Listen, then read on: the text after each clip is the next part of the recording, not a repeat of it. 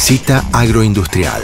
De la materia prima a la producción, el consumo masivo en las ciudades, al distribuidor y su ubicación en cadena. Agregado de valor. El campo, una industria que genera fuentes de trabajo en el país aportando a las economías regionales. Sus riquezas generadas por productos propios de la tierra.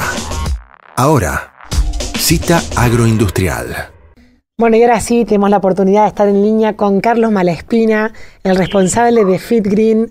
Bienvenido, Carlos, a Citas de Radio. ¿Cómo estás? Bien, ¿y vos? Bueno, gracias por atendernos, Carlos. Y hablábamos al principio del programa sobre la importancia del productor para tener reservas forrajeras. ¿Querés contarle a la gente que por ahí no están de campo, que no conoce, qué es una reserva forrajera? Bueno, eh, la reserva forrajera es eh, eh, en la época de primavera-verano guardar todo el alimento que uno pueda para el invierno. Eh, básicamente lo que más se hace son silajes eh, o reservas de pasturas o de cebada o de trigo que sería primavera o de maíz o sorgo que es lo de verano. O sea, eh, realmente en invierno por si no hay lluvia, por la celada o eso, eh, hay faltante de pasto y cuando uno tiene una producción de engorde de novillos o tambo, tienen que tener este, el alimento asegurado para toda esa época del año. Igualmente ya la mayoría de la gente da reserva o, da alimento durante todo el periodo de, engorde del animal o el tambo evidentemente todo el año, ¿no? Claro. Ahora me imagino, Carlos, que para poder eh, trabajar de esta manera tiene que haber mucha anticipación en las decisiones de producción. Sí, los, los productores ya saben lo que van a este, hacer de, reserva. Eh, entonces, bueno, con anticipación te llaman, uno hace una planificación con ellos de qué tipo de alimento quieren hacer, si son de primavera, si son de verano o los dos, si son eh, reservas eh, hechas en bolsa o lo que se llama bunker, que es eh, este, esa torta grande que se ve en los, en los campos con, tapado con, con plásticos y cubiertas. este bueno, ellos van, van decidiendo de acuerdo a los volúmenes, de acuerdo al tipo de producción que tienen, qué tipo de reserva y algunas son más estratégicas que son para determinado momento del año para engordar o recriar terneros en, en el potrero o este, alimentar vacas de cría. Por eso todo lleva una previa planificación y la decisión generalmente con, con el, con el dueño del campo, los contratistas, la tomamos meses antes, ¿no? Claro, claro. Carlos, ¿y los años de seca, como por ejemplo está, estuvo siendo este, que es un año, un año bravo para, para el productor, ¿se modifican los planes o cómo hacen cuando hay mucha seca? ¿Guardan...? Y vos tenés dos...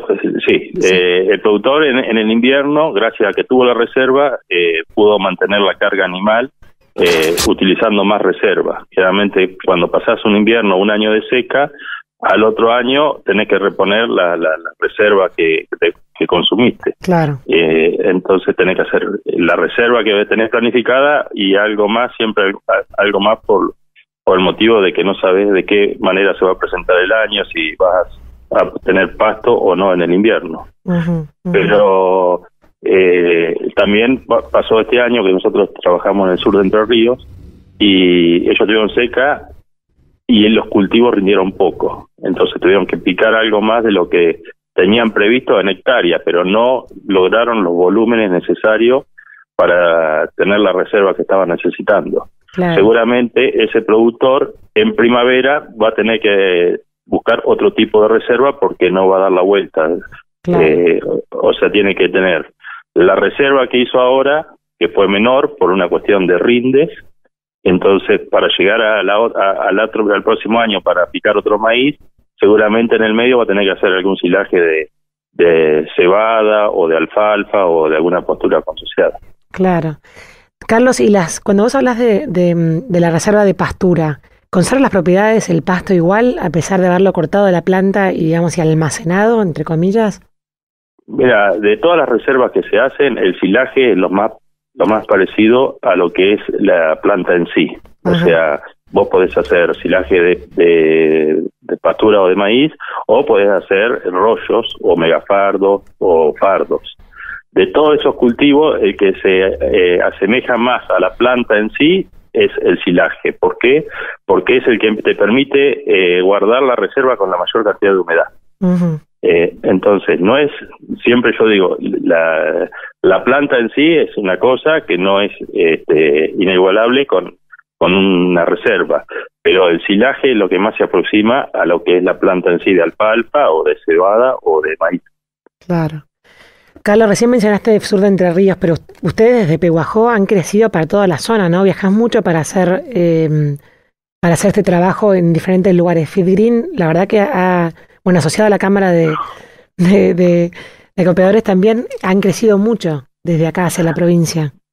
Sí, nosotros eh, básicamente, bueno, si bien en la base está todo radicado acá en Pehuajó, eh, arrancamos eh, con los silajes de primavera en Pehuajó y en el sur de la provincia de Buenos Aires, eh, que es la zona de riego, le llaman de Corfo, que abarca todo lo que es, eh, vendría a ser la patita de la provincia de Buenos Aires, que, Pedro Luro, Villalonga, Hilario Casubi, eh, o sea, eso es una zona que la hemos desarrollado eh, ya hace casi 20 años que estamos ahí en, en esa zona, y Pehuajó. Esos dos puntos serían lo que es silaje de primavera y algo en Tandil.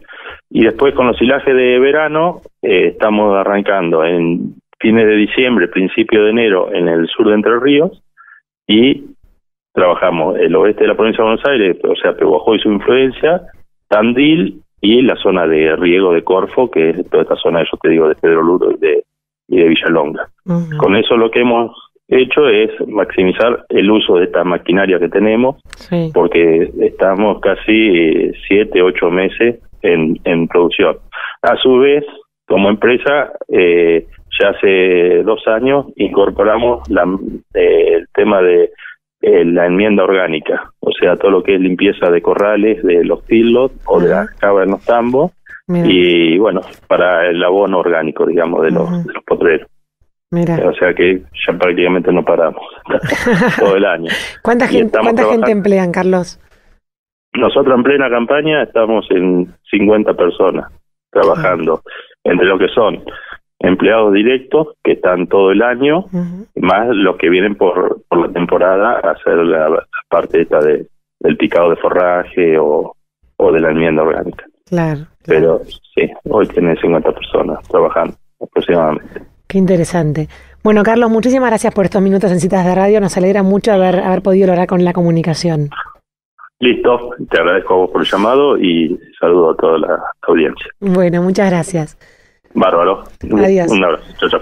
Bueno, y así pasaba Carlos Malaspina, responsable de Fit Green, hablando un poco de la decisión de reserva forrajera.